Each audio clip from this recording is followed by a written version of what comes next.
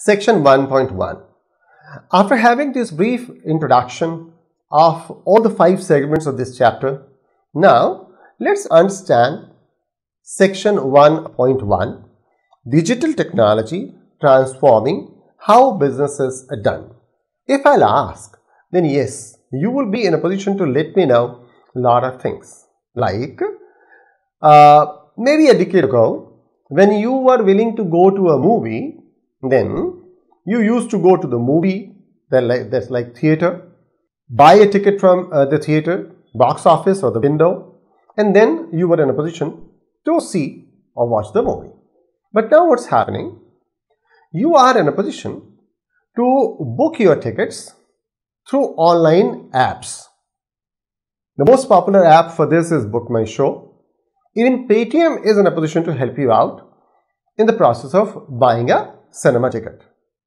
You are in a position to choose a seat for yourself, order for yourself, place the order for e-tables. More so, you are in a position to cancel the ticket even. I am regular buyer from Book My Show and recently they have extended another benefit to me that I can cancel six tickets, six times rather in a year without any penalty. So, a lot of things have happened. Why? Because of what? Because of digital technology. Because this digital technology is in a position to help us out. So, we are in a position to experience this cinema watching in a different fashion altogether. You name the area. You will be in a position to see how digital technology is being used. You want to buy something, even if you want to sell something, then now you don't need the old Raddi Wala or the Kabadi. You are in a position to have OLX. You can put your stuff there and you will be able to find buyers. From railway reservation to hotel booking to flight booking to searching about the various products, about the prices, comparison of prices, comparison of the feature of the products, everything is digitized. Any single person was not in a position to do this much without digital technology. So, how this digital business is being done?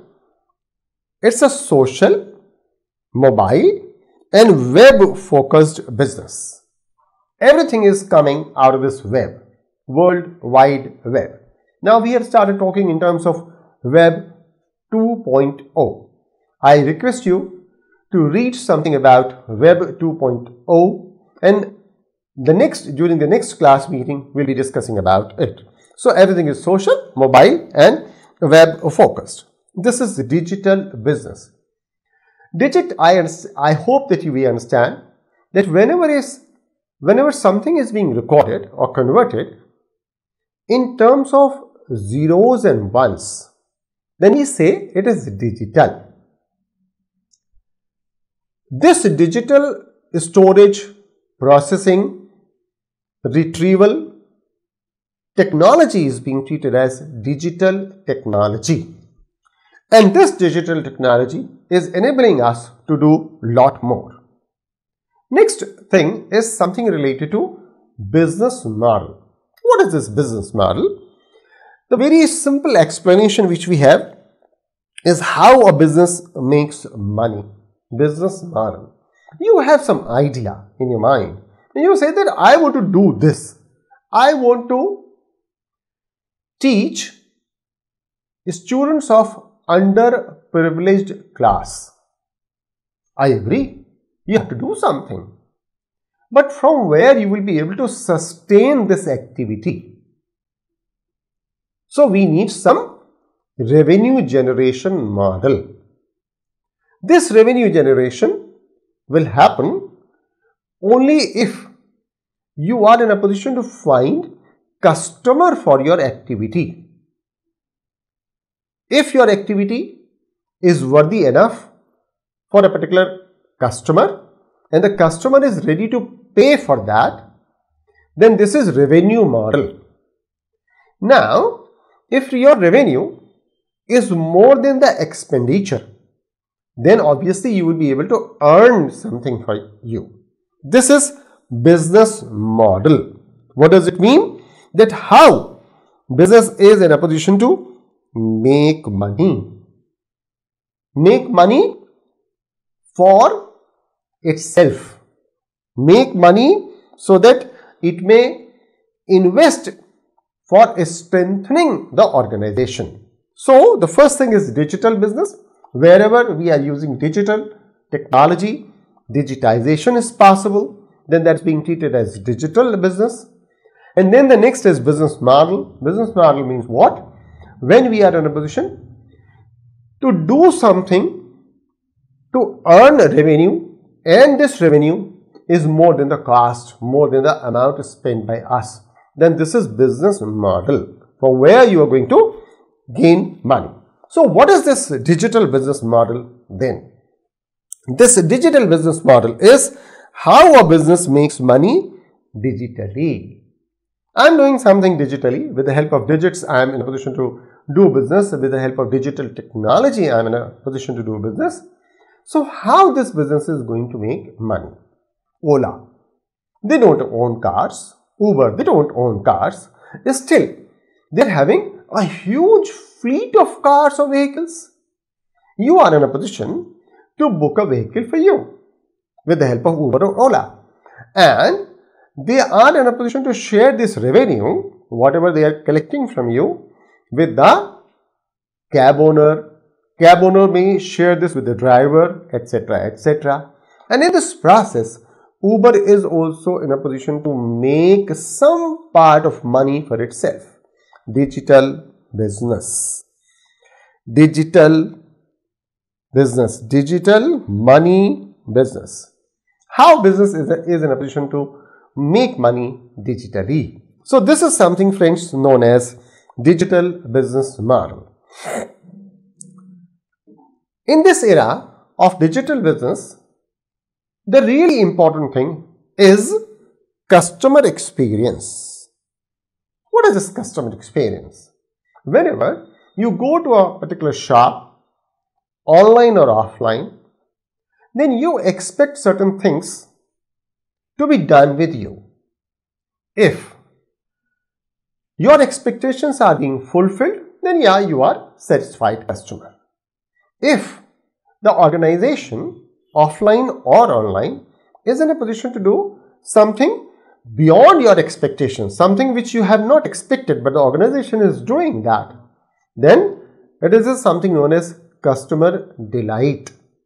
So, the war, ongoing war within the organization is all about attracting customers. Who is in a position to get more customers? More and more customers. So, if I were to have more and more and more customers, loyal customers, repeat customers, then I need to work on something known as CX, which is customer experience. What is this customer experience? This is about building a digital infrastructure that allows customers to do whatever they want to do, whatever they want to do, through whatever channel they choose to do it. One, I will do something, so I must be in a position to do that thing. Two, I must be in a position to do on the channel I choose to do my activity. Say, if you want to book a ticket for yourself on Prayagraj, you want to go from Allahabad to Delhi, you to catch Prayagraj and you to book a ticket for yourself, Prayagraj. Then, right now, the IRCTC website is not in a position to give this option to you to select your berth. In which coach would you like to sleep and on which berth would you like to sleep? They are in a position to give lots of options to you like lower, middle, upper, preference. If your preferred berth is not available, then still you want to get the ticket booked or not and so on. But the tool, the channel, the website is not in a position to allow you to select a berth for yourself, although this can be done in the case of flights. Although this can be done in the case of Book My Show, you can understand if the technology is available for Book My Show, if the technology is being used for booking a flight, then why not IRCTC can do it? IRCTC can do it. But friends, there is a challenge. Technical challenge. What is that technical challenge? In the case of IRCTC, whenever you book a ticket, they start booking your ticket to make the load on the train in an optimal manner. A person if allowed to select coach and berth may do so as per his or her choice but this may disbalance the load of the entire train. So right now that's why IRCTC is not in a position to do so. This is something like whatever you want to do about building digital infrastructure that allows customer to do whatever they want to do. One. The second part of it is that you are in a position to do with the help of whatever channel. You have, you have mobile, you have a tab, you are, you are using a laptop, you are using a desktop, you are using only a simple phone. I want to book a ticket for myself by giving a call. Why not?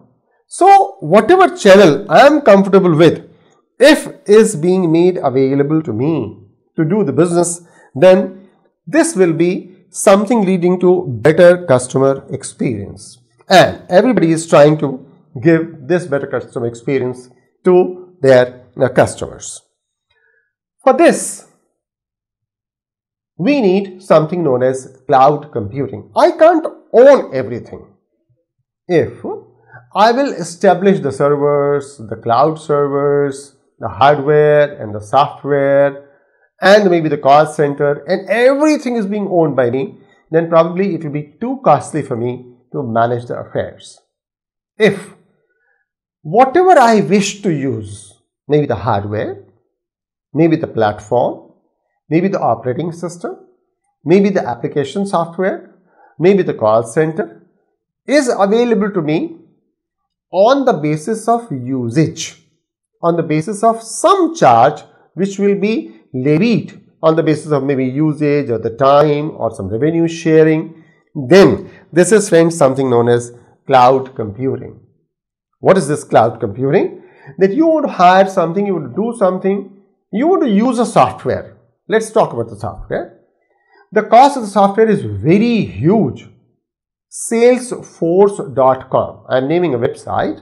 You may go to this website and see that if you want to manage your sales force, where a particular salesman is, what is he or she doing, how many customers he or she has touched, what is the output, etc., etc. So, for managing this entire thing, we have a beautiful cloud-based solution salesforce.com. So I'm not supposed to establish my cloud server, hardware, develop the software, but somebody else has done it and I'll be using it. So this is cloud computing. So uh, allow me to read what is this cloud computing. This cloud computing is a style of computing in which information technology services are delivered on demand whenever you wish and accessible via internet without being owner of that. I don't want to be owner. I, I don't want to spend that much. Still, I can use this uh, technology. So this is something known as cloud computing.